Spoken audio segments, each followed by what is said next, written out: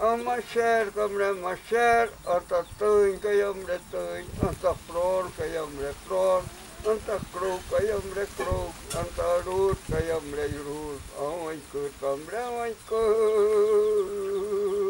Estamos na Flona, na unidade de conservação, a Floresta Nacional aqui de Canela.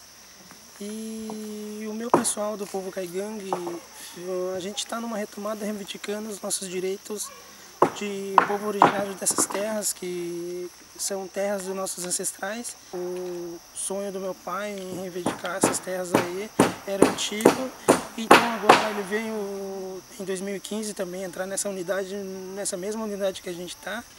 E em 2017 ele veio a falecer, então assumi esse posto de cacique dele. Né?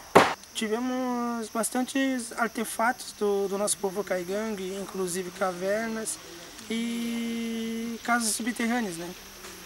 Esta flora de canela não estava na lista das, dos outros parques que entraram na, na lista de concessão para iniciativa privada. É, a flora de canela estava fora dessa lista.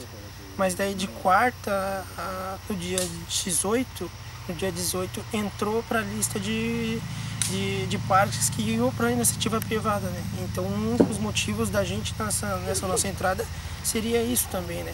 E, e na segunda-feira entramos no, no MPF com, com, um documento questionando o plano de manejo deles, e, porque a gente está inserido no plano de manejo, mas eu não sei o, por qual motivo não deixam a gente fazer moradias e, e usufruir dessas terras. Né? No dia 28 de fevereiro, o grupo Caingangue, que havia retomado seu território ancestral na Floresta Nacional de Canela, recebeu um mandato de reiteração de posse a pedido do Instituto Chico Mendes, que deve ser cumprida até o dia 3 de março.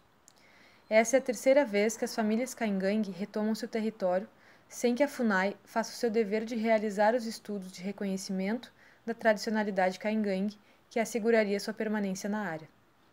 A Flona encontra-se na lista das unidades de conservação que serão privatizadas pelo Ministério do Meio Ambiente, o que desconsidera totalmente a reivindicação e os direitos territoriais dos Caingangue previstos na Constituição Federal e na Convenção 169 da Organização Internacional do Trabalho.